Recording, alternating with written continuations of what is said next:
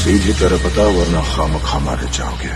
रगात सांडूच ते आमचं पणाव रक्तात शिवाजी आमच्या जिथं सांडल तिथून हज़ार शिवाजी जन्माला येत्या